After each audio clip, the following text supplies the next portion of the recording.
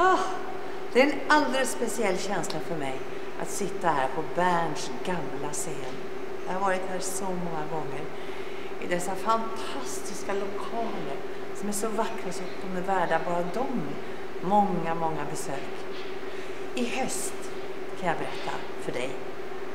Den 28 september så ska vi hylla Hasse och Tage som också har varit så mycket på Berns med anledning av att Berns fyller 150 år.